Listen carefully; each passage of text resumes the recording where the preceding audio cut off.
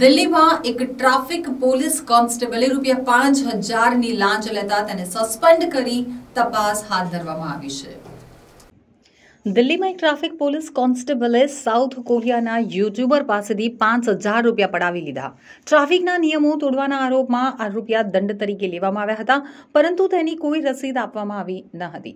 આ કેસનો video social media ઉપર વાયરલ થયો હતો. ત્યારબાદ દિલ્હી પોલીસે તે કોન્સ્ટેબલને સસ્પેન્ડ કરીને તપાસ શરૂ કરી છે. વિડીયોમાં દેખાઈ રહ્યું છે કે કોન્સ્ટેબલે વાહન રોક્યું, પછી તેણે યુટ્યુબરને કહ્યું કે ખોટી લેનમાં વાહન ચલાવવા બદલ પાંચ હજાર રૂપિયાનો દંડ ભરવો પડશે. યુટ્યુબર પોલીસકર્મીને સમજી શક્યો નહીં અને તેને પાંચસો રૂપિયા આપવા લાગ્યો. જ્યારે પોલીસકર્મીએ ના પાડી, તો યુટ્યુબરે તેને પાંચ હજાર રૂપિયા આપી દીધા. ત્યારબાદ યુટ્યુબરે પોલીસકર્મીને હાથ જોડીને આભાર કહ્યું અને તેની સાથે હાથ મિલાવ્યો. કદાચ ત્યારે તે સમજી શક્યો ન હતો કે તેની પાસેથી લાંચ લેવામાં આવી રહી છે. મીડિયા રિપોર્ટ્સ અનુસાર આ ઘટના લગભગ એક મહિના જૂની છે. વિડીયોમાં દેખાતા કોન્સ્ટેબલનું નામ મહેશ ચંદ છે. તે જ સમયે દક્ષિણ કોરિયાના નાગરિકના યુટ્યુબ ઉપર તેર લાખ ચાલીસ હજાર સબસ્ક્રાઇબર્સ છે.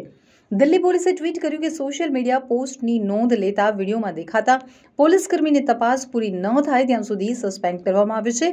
દિલ્હી પોલીસની ભ્રષ્ટાચાર સામે ઝીરો ટોલરન્સની નીતિ છે.